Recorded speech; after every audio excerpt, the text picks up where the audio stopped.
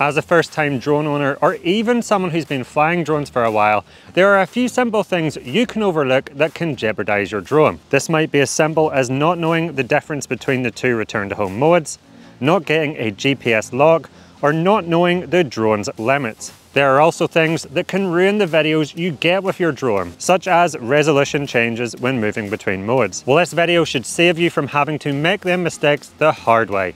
Here are the 12 biggest mistakes new pilots make with the Mavic 3 Classic. Let's get started with mistake number one. And a big mistake you can make as a beginner that really genuinely could result in a crash off your drone is not realizing that obstacle avoidance turns off whenever you're flying in sport mode.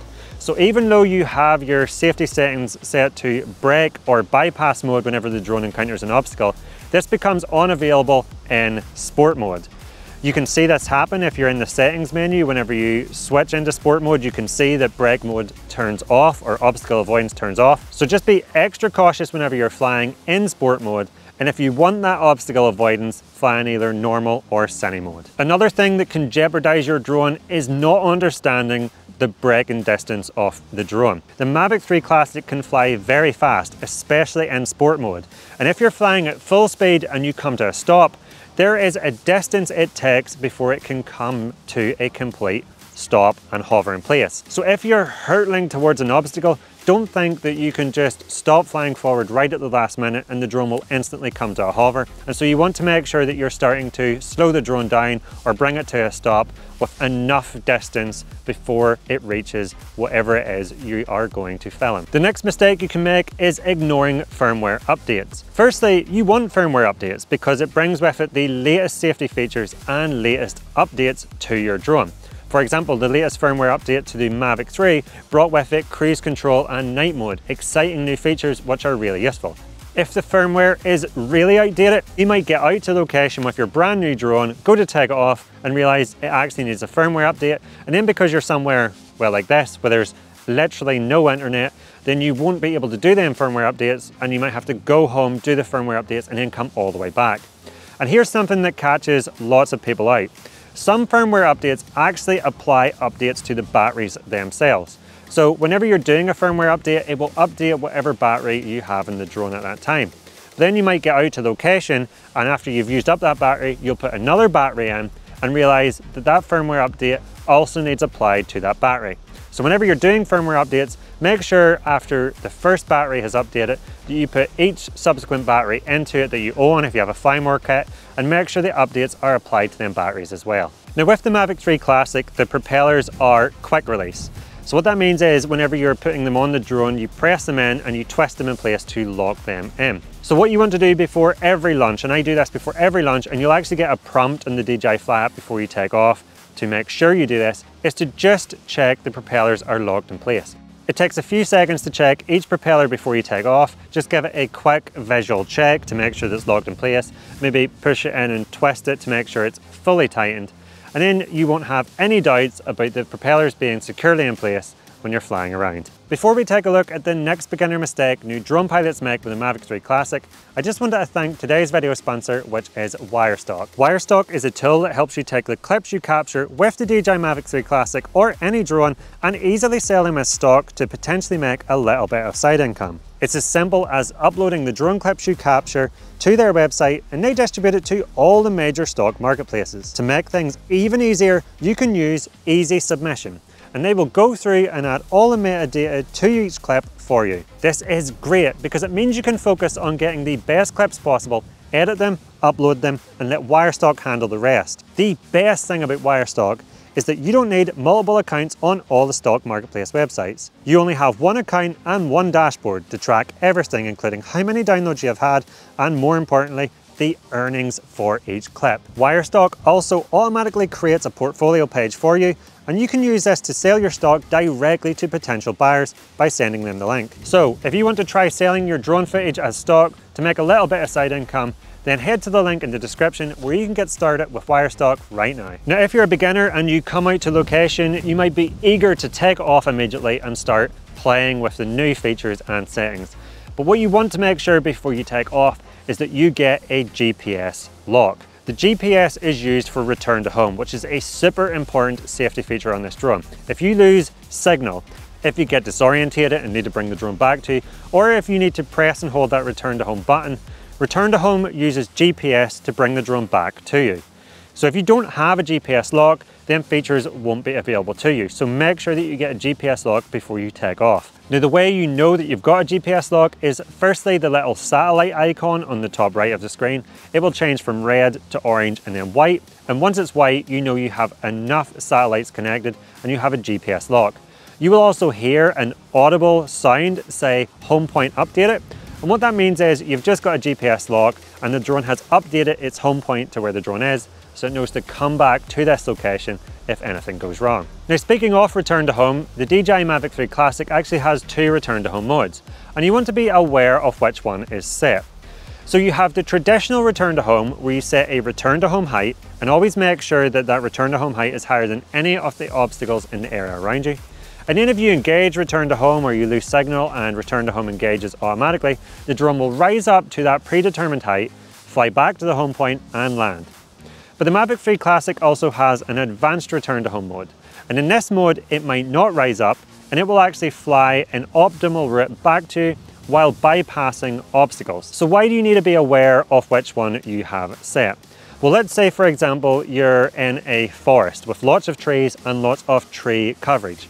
Advanced return to home is going to be a much better option because if you use traditional return to home, whenever the drone loses a signal, it might rise up and then it's going to rise up to where all them trees are and might not be able to get out into the open and fly back to you.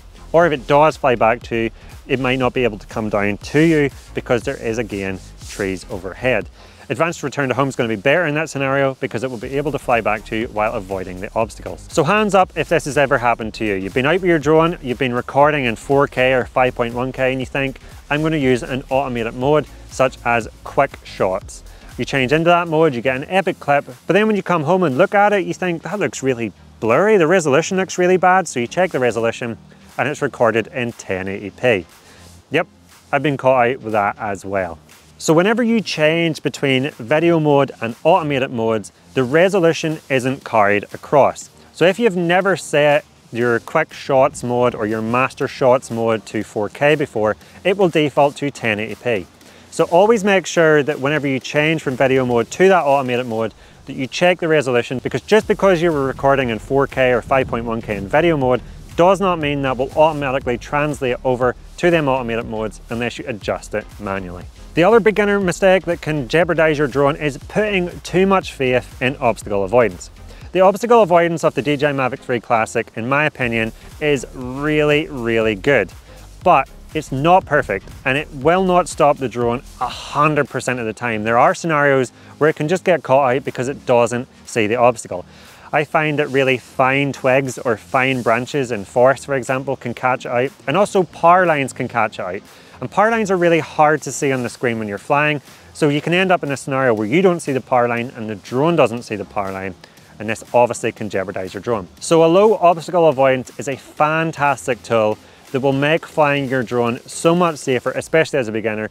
You need to make sure that you're also being aware of your surroundings and any obstacles in it. If you do turn your obstacle avoidance off, let's say for example you want to get a shot where you're flying close to something, always make sure that you remember the second you're done recording to turn it back on. And the last thing with obstacle avoidance is remember the braking distance of the drone. Just because the drone stops itself when it sees an obstacle doesn't mean that you might be already traveling too fast and it might not be able to stop itself in time. So again, remember the braking distance of the drone. So something that might result in you getting lots of video footage that you might not be able to use is using the wrong color profile as a beginner. So with the Mavic 3 Classic, the normal color profile provides saturated and colorful and beautiful looking video that you can use out your drone straight away. But you might have heard that D-Log or HLG mode is better at preserving highlights and shadows and colors, but it requires that you color grade the video in post to get it to that stage. Whenever you look at it straight out of the drone, it will look gray and desaturated. So as a beginner, I highly recommend if you don't know how to color grade, that you make sure you're using the normal color profile. Actually, I think the normal color profile out of the Mavic 3 Pro looks fantastic anyway, and it's the one I use most of the time. Now, if you're a beginner, you might accidentally end up in D-Log mode and not realize it because there's a setting on the Mavic 3 Classic called D-Log Color Assist. And what this means is it will quickly apply a color grade. It will add saturation to the preview of the video on your controller, even though you're in that gray and desaturated D-Log mode. But the thing here is this is only added to the preview you're seeing on your controller and not to the clips the drone is recording.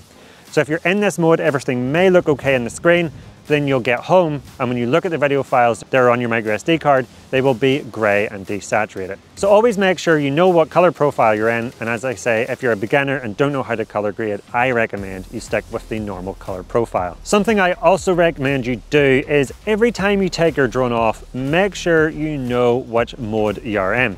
Now the reason I say this is because whenever you turn your drone on for the first time, it will always default to the normal mode. Even though you might have your controller set to Cine or Sport, the drone will always default to normal mode until you adjust that setting on the controller for the first time. So you might think that you're in Cine mode because the controller set to that mode, take the drone off, you might be close to an obstacle and you might go to fly and think I'm okay even though I'm close to that obstacle because the drone will take off or it will fly quite slowly because it's in Cine mode, but not realize it's in normal mode and you might fly into something.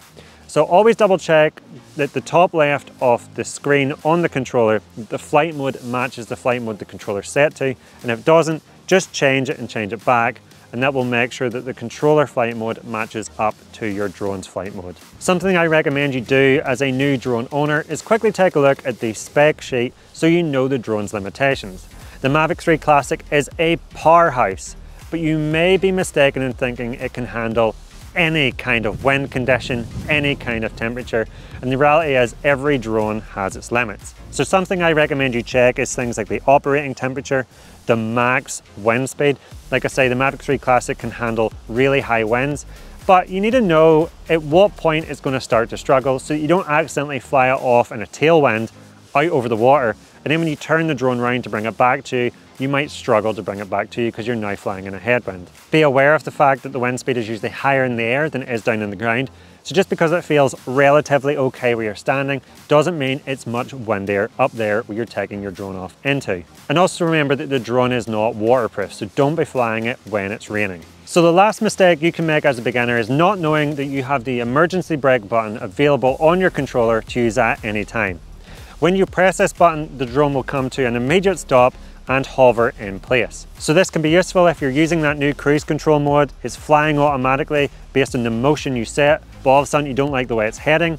Maybe you're doing a quick shot, you're doing a circle move and you see your drone and you don't like that it's heading towards an obstacle. Or maybe you're flying and as a beginner, you're concentrating on your drone and someone comes over to talk to you and you start to get distracted. You can simply press that emergency brake button and the drone will stop whatever it's doing even if it's doing an automated flight mode and hover in place until you're happy to take back control of it and continue flying it. So hopefully now you know what to avoid as a beginner to make sure you don't put your new drone at risk and also don't end up with a video that didn't turn out how you were expecting it to.